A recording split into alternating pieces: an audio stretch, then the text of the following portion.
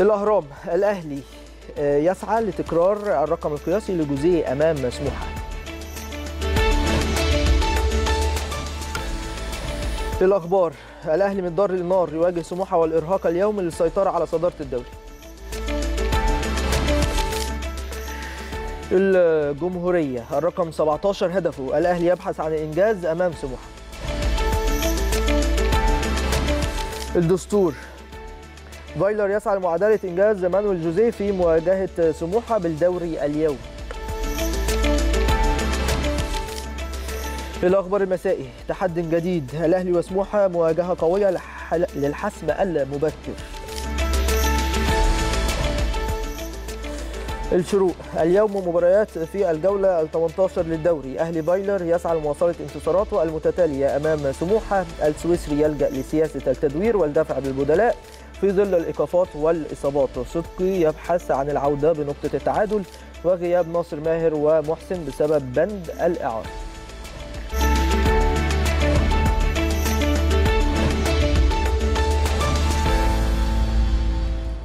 نبتدي بجريدة الأهرام واللي اتكلمت عن مباراة اليوم بالنسبة للنادي الأهلي أمام فريق سموحة وقالت إن الليلة الأهلي يسعى لتكرار الرقم القياسي لمستر مانويل جوزيه. من خلال مباراة سموحة. إحنا عارفين طبعا بنفكر بعض دايما إن مستر مانويل جوزيه في موسم 2004 2005 كان حقق 17 انتصار متتالي لحد ما وصلنا لمباراة المصري البورسعيدي واللي كان بطل لو تفتكروا كابتن نادر السيد حارس مرمى المصري في هذا التوقيت وأنقذ كم كبير كم كبير جدا جدا من الأهداف. المباراه انتهت بالتعادل السلبي في هذا التوقيت يعني وقف وقف قطار النادي الأهلي عند الانتصار رقم 17 بشكل متتالي. فبالتالي نتمنى إن شاء الله النادي الأهلي يقدر يوصل للرقم ده من خلال مباراه اليوم امام سموحه. باذن الله يحصل.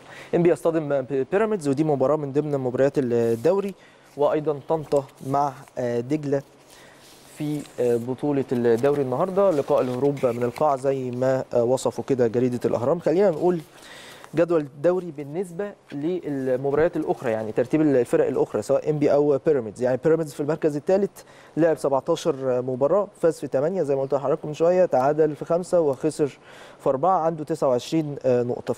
في المقابل انبي في المركز السادس لعب 17 مباراة فاز في 6 تعادل في 7 وخسر 4 وعنده 25 نقطة. بالتالي انبي لو فاز النهارده يقترب لفريق بيراميدز ياخد خطوة مهمة. وفي الحقيقة انبي ماشيين بشكل ممتاز مع الكابتن حلمي طولان المدير الفني للفريق. ما خسروش يعني. الراجل جه لعب أول مباراة خسرها بس من أول ما جه بعد الكابتن علي ماهر. وبعد كده ما شاء الله انتصارات متتالية وتعادل آخر مباراة ليه في الدوري على ما أتذكر يعني.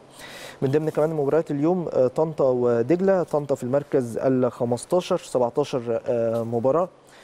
اثنين فوز تسعة تعادل وستة هزيمة. 15 نقطة. ووادي دجلة في المركز ال 17 المركز قبل الأخير برصيد 14 نقطة من 17 مباراة 3 فوز 5 تعادل و تسعة هزيمة. يعني ده جدول الترتيب بالنسبة للمباريات الأخرى في بطولة الدوري اليوم. الأهم بالنسبة لنا طبعا النادي الأهلي إن شاء الله يوصل لانتصاراته ويوصل لانتصار رقم 17 تعالوا نروح لجريدة الأخبار. وجريدة الأخبار اللي بتتكلم وبتقول النهاردة إن الأهلي من الدار للنار في إشارة للمباريات القوية جدا اللي كان بياخدها النادي الأهلي في بطولة دوري أبطال أفريقيا من خلال مباراتي الذهاب والإياب أمام سان داونز فزنا 2-0 في الذهاب تعادلنا هناك 1-1 في الإياب. فبالتالي خارج من معركة قوية جدا. معركة رياضية حربية قوية جدا بالنسبة للنادي الأهلي. وداخل على معركة أخرى وهي معركة محلية أمام فريق قوي ومحترم زي فريق سموحة بكل تأكيد. عندك عقبات زي ما بيوصفوا كده جريدة الأخبار. بتتمثل في إيه؟ بتتمثل في الإرهاق. أكيد إرهاق واضح جدا ممكن يكون موجود أو إجهاد بالنسبة لبعض اللاعبين بسبب إن أنت رجعت من ثلاث أيام بالظبط يعني أو أقل كمان. رجعت أول امبارح الصبح اتمرنت امبارح. وهتلعب المباراة النهارده يعني. فالوضع صعب يعني. مفيش مساحة كافية للاستشفاء ما بين المباريات بالنسبة للنادي الأهلي. ودي حاجة كانت غريبة علامه استفهام في الحقيقة بالنسبة للجنة المسابقات في الاتحاد المصري لكرة القدم. الأهلي بيحاول إن هو يسيطر على الصدارة. لا الأهلي مسيطر ما شاء الله على الصدارة لكن هو زيادة في التأكيد وزيادة في عدد النقاط الفارق ما بين الأهلي والمقاولين العرب صاحب المركز الثاني واقتراب أكتر في خصوص طبعا حسم بطولة الدوري بإذن الله تعالى وده أمر مهم ومركز عليه الجهاز الفني واللاعبين تعالوا نروح للجمهورية. واللي بتتكلم على إن الرقم 17 هو الهدف بالنسبة للنادي الأهلي في مباراة اليوم رغم إن هو مش هدف أساسي بالنسبة للجهاز الفني واللاعبين. إزاي؟ الهدف المعروف إن النادي الأهلي كل مباراة بيكسب يعني بيبقى عايز يكسب. يعني هدفه الأساسي إن هو يخرج من المباراه بثلاث نقاط.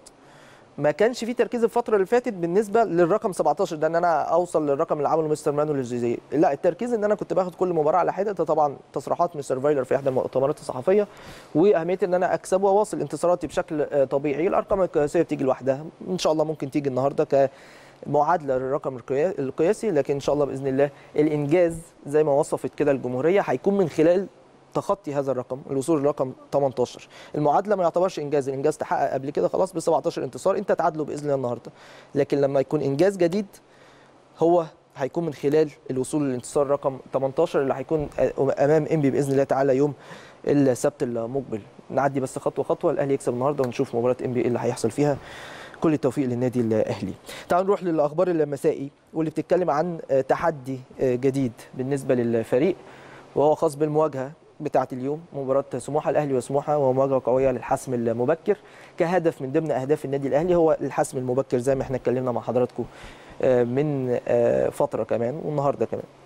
لأن أنت كل ما تتخطى عقبات كل ما تقترب بشكل آه، أكبر في حسم بطولة الدوري وده الهدف اللي أكيد بيسعى ليه كل الجهاز الفني واللاعبين.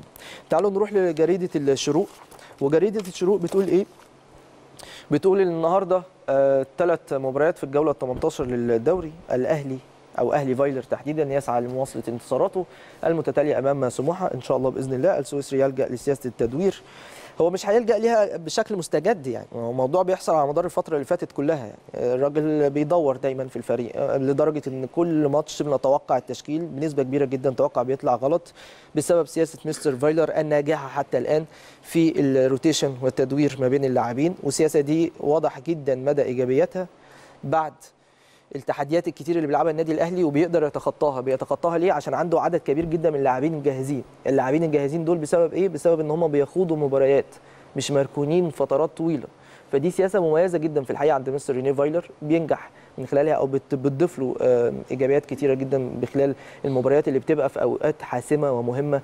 وضيقة كمان جدا زي المواجهات ال- الحالية سواء افريقيا أو آه، محليا.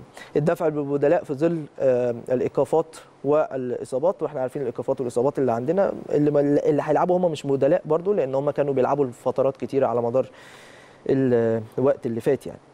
صدق يبحث عن العودة بنقطه التعادل. دايما دايما بنسمع تصريحات من المدربين على مدار الموسم حتى الآن مع النادي الأهلي. التصريحات تتمثل في إيه؟ بتتمثل إن أنا بحاول بقدر المستطاع أخرج بأقل خسائر أمام النادي الأهلي لتفوقه والإمكانيات المميزة والكبيرة. لكن كرة القدم ما بتعترفش بالجزئية دي بتعترف بالجهد في الملعب. العمل الشاق على مدار ال 90 دقيقة بالتالي من خلاله تقدر بإذن الله تعالى إن أنت تفوز بثلاث نقاط. كابتن حماده صدقي طبعا حق مشروع عليه مدرب كبير ومحترم هيحاول إن هو ممكن تكون استراتيجيته إن هو عايز يكسب. إن شاء الله الأهلي هو اللي يكون موفق ويكسب ممكن يكون استراتيجيته في المباراة إن هو عايز يتعادل يخرج بنقطة فبرضه هيبقى يعني مكسب لفريق آه، سموحة. لكن في كل الأحوال تمنياتنا طبعا للنادي الأهلي آه، الفوز بالثلاث نقاط في مباراة اليوم. عايز أكمل العنوان آه، في ال- في الشروق. وغياب ناصر ماهر ومحسن بسبب بند الاعاره إحنا عارفين إن إحنا عندنا بعض المعارين آه، من صفوف صفوف النادي الأهلي لفريق آه، سموحة. عندك ناصر ماهر آه، صلاح محسن. عندك محمد عبد المنعم. عندك كريم يحيى. كل دول مش هيلعبوا مباراة اليوم بسبب بند عدم المشاركة أمام النادي الأهلي والبند الموجود في عقود اللاعبين مع سموحة عقود الإعارة تحديدا.